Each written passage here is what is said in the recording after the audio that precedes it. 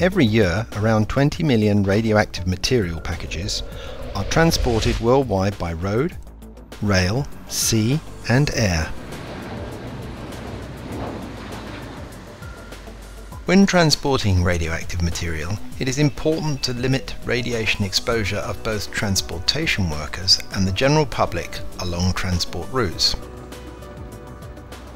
These goods also need to be packaged correctly, as laid out according to the international and national regulations for each mode of transport, to minimize the risk of radiation exposure.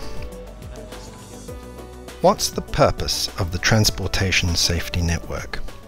the smooth and safe transport of radioactive materials.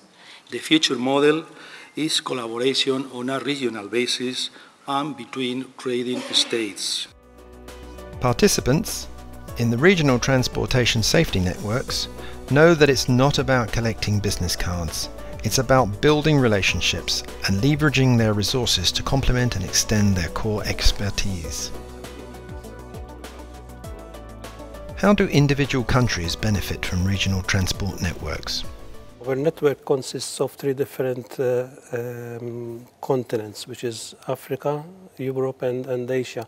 So that in itself is already uh, a good mixture of different cultures, which will be beneficial for all the countries in this region.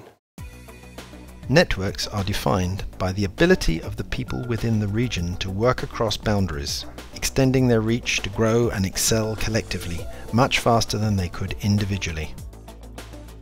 What's next for the Transportation Safety Network? The IAEA will continue to provide annual workshops that focus on selected topics to meet the needs of the participating members, such as certification of packages, management systems, conducting inspections, emergency preparedness and response, and security in transport. How do you join a transportation safety network? The current regional networks for transport safety are informal. Member states interested in participating in a network need only contact the IAEA to be connected with the appropriate one. The IAEA has been actively involved in transport regulation since 1961.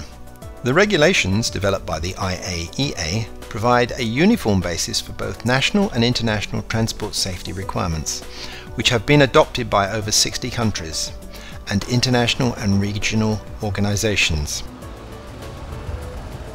The goal of creating transport networks is to create a sustainable model that sees member states empowered to improve safety in their countries through their own efforts and with the support of their regional partners.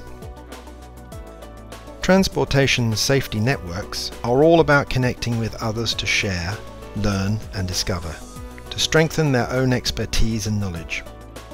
This collaboration has direct benefits in improving transport safety nationally, regionally and globally.